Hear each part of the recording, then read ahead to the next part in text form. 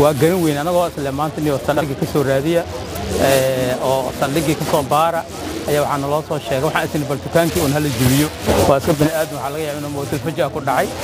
Marka dukaankeen saa ku jibinay marka arrintaana la kulan aad naxdin allahu naxariistay cabdiraxmaan cabdulaahi ayaa la sheegay inuu isku deldelay goobtiisa ganacsiga oo ahayd xarun harqaan oo ku talla isgoyska dabka ee muqdisho. Cabdiraxmaan ayaa geeridiisa oo ay ku imaaday isdeldelidda ayaa waxaa la fajacay dadkii jaarka la ahaa xarunta cabdiraxmaan ee uu dabaarlaha ka ahaa ayay dad badani oo yaqaana ay soo buux dhaafiyeen iyagoo ka naxsan geeridiisa oo u dhintay si aan marnaba la aamini karin. Cabdiraxmaan abtigii oo warbaahinta la hadlay isagoo murugaysan ayaa sheegay in baaritaan lagu samayn doono geerida wiilkiis wuxuuna sheegay inay u tahay maanta maalin madow. Wiilka abtigiisaan ahay. Runtii inaa lilaahi wa innaa ilayhi raajicuun. Arrin naxdin aad weyn ayaan runtii na gashay. Annaga waa weynay khamiistii jimcihii jimco aad looma dareemin oo arday u ahaa khamiistii jimco jaamacaduu dhiganayey marka nin jaamacaddiisa aad unbaa loo malaynayey kolley saakun baan si fiican u dareennay oo teleefonkiisii la waayey laba nambar u lahaa. Nambar ka mid ah waa badansanaa midaa shaqaynayey marka waa garan weyn anagoo isle maanta niyo saldhigii ka soo raadiya oo saldhigii ka soo baara ayaa waxaa naloo soo sheegay waxaan isni bal dukaankii un hala jibiyo. Waa iska bani aadam waxaa laga yaaba inuu mootil fajaa ku dhacay. Marka dukaankeen saa ku jibinay marka arrintaana la kulan aad naxdinta u leh waa gartay wiilka magaciisa iyo da'diisa saddex saxda ah ma noo sheegi kartaa? Wiilka waxaa la yidhaahdaa cabdiraxmaan cabdulaahi cabdulcasiisa la yidhaahdaa. Adigu da'diisa waa ilaa labaatan iyo todoba jir labaatan iyo shan jir meelahaas oo waa gartay waxaa lahay warqad ayuu reebay oo dardaaran ah. Dardaaranka waxaa ku qornaa hal ilow ma noogu sheegi kartaa wallaahi kulley warqadda warqadda war badan kumaba qornayn ba ani laba gabdhood aan dhalaa jirto oo rawdi wax saasa la yidhaahdo ha lala socdo intaas wallaahi waa gan. Kulley waxaan hadda warka aan ma maqlayn arrin familia la sheegayaa dee in la qasbay xataa la deldelay oo si bareeshara la saaray xataa aad uma garan karno oo wax waa la samayn karaa moogtaha laftarkeeda inkastoo dukaanka hoos uga xidhna in furaha laga koobisto iska suuragala oo iska ay tahay accident inay tahan waa macquul allahu aclam laakiin anaga warqadaasna waa arrin waan qoraalka fartiisana waa ehay dadkii jaarka la ahaa cabdiraxmaan ayaa iyaguna ka naxay geeridiis iyagoo sheegay inuu ahaa nin afgaawan oo dad jecel. Runtii waa naxdin weyn oo aniga noloshayda afartan iyo dhowr jiraan ahay. Sii ugu weyneyd ee isoo martay dagaalo sokeeya xataa waa arkay. Oo dhacdadan maanta ka dhacda xaafadan meeshaan aan taagannahay. Cabdiraxmaan nin wanaagsan oo zaciima oo boqolaal qof oo haween leh oo carruur leh oo dhallinyaro leh oo odayaal leh oo mas'uuliyiin leh oo culamo leh nin qancinayay oo anigaygan aan markhaati adduun iyo aakhira ilaahay hortiisa ka caddaynaa inuu ixtiraamayey iyo caawinayo qof kasta oo degmadan deganna waa uu caawi jiray waa nin fiican oo dareen aan ku cabiri kara ma laha.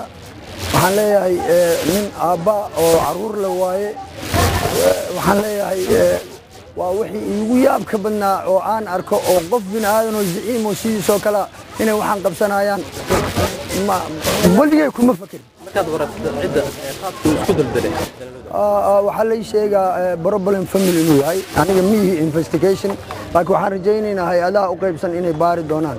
Waxaa si jiro waxyaabo la dhex maraay oo ah problem asaga qofka gaar u ahaa inuu ahaayaan aaminsannahay waxaan leeyahay mar labaad cabdiraxmaan nin wanaagsan oo zaciima oo cid walbaa qaadala. Qof kasta oo dadkan idinku hareeraysan ama xaafadan degan waa qaadala yahay.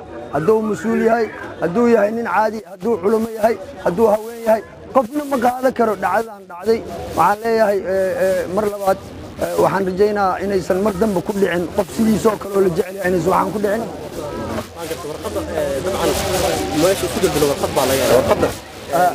waxna waxaa iska leh dadka gaarka u ah oo u qaybsan waddankaas sistemaa ka jiro dowladaa jirto taasaa ay wax gaar u tahay. Taas wixii kale oo ku qoran iyagaa weydiinaysa laakiin aniga waxaan idinkii sheegaa inuu cabdiraxmaan mucjiso ku yahay dhacdadan ku dhacday ugu filan. Laakiin aad iyo aada uga naxay. In yaraan xaafadda deganaha intaasaan igu filan aqoontiisa. Waana arrin mucjisaa xag rabbaani ka timid. Wax kaloo ka sheegi kara ma laha laakiin ilaahay asaga jannad fartoosa allah ugu bishaareey insha allah ilaahayna waxaan ka tuuganayna tanoo kale xaafadayna ku soo noqon mar kale. Laakiin waa arrin qiiro leh aad iyo aad aan uga naxay aad iyo aad aan uga naxay cabdiraxmaan. Maxababa anaga ma haddaa maqlaynaabo maba oginbo laakiin aad iyo aad aan uga naxa wallaahi saan ku soo baxa xataa ma aqaano. Aniga ma arkin waayahan iiddii dharka tasha iigu dambaysay sidii wixii ka dambeeya ma arkin. Laakiin aadii anoo xaafadda la deganaaba gurigaba ka soo bixinba cabdiraxmaan ayaa caan ka ahaa degmada waaberi ee gobolka banaadir waxaana uu xarqaan ku lahaa degmadaasi waxaana inta badan saaxiib la ahaa dhallinyarada halkaas ku nool iyada oo inta badan dhammaantay geeridiisa laga hadalhayo guud ahaan soomaaliya. Laakiin aadii aada uga naxa wallaahi saan ku soo baxa xataa ma aqaano.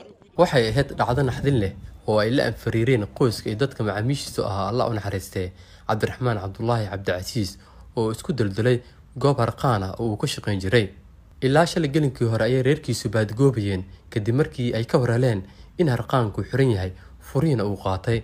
Maanta ayay reerku jebiyeen albaabka harqaanka waxaana ay arkeen isagoo xarig ka lusha durbadiiba goobta waxaa isqabsada buuq waxaana yimid ciidamo ka tirsan booliska degmada waaberi miiska dushiisa oo u dhow goobta isku daldalay ayuu u tagay warqad uu ku qornaa inuu ka tago xaas iyo carruur adeerkiis ayaa sheegay inay aada u welweleen dhacdadan islamarkaana ay sugayaan baaritaanka haydaha amniga.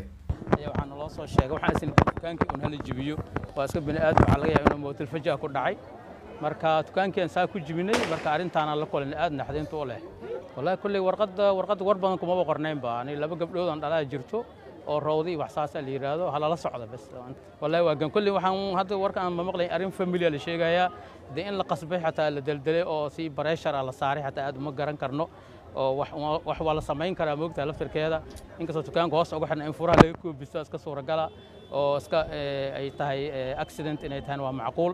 Allahu aclam laakiin anaga warqadaasna waa arni waan qoraalka fartiisana waa ahayd. Dadka deegaanka ayaa ka hadlay naxdinta geeridiisa waana arrin mucjisaa wax xag rabbaani ka timid wax kaloo ka sheegi kara ma lahan laakiin ilaahay asaga jannad fardows allah ugu bishaareey insha allah ilaahayna waxaan ka tuuganayna tanoo kale xaafadayna ku soo noqon mar kale laakiin waa arrin qiiro leh aad iyo aad aa uga naxay aad iyo aad aa uga naxay cabdiraxmaan ma xababa anaga ma haddaa maqlaynaabo maba oginbo laakiin aad iyo aad aa uga naxa wallaahi saan ku soo baxa xataa ma aqaano aniga ma arkin waayahan iiddii dharka tasha iigu dambaysay sidii wixii ka dambeeya ma arkin.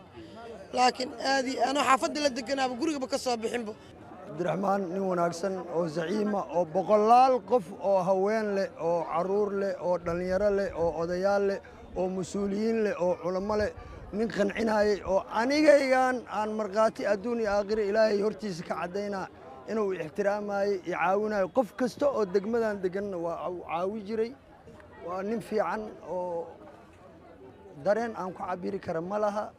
Waxaan leeyahay nin aabba oo carruur le waaye. Waxaa lay sheegaa problem family inuu yahay. Aniga miihi investigation laakiin waxaan rajaynaynaa hay'adaha u qaybsan inay baari doonaan.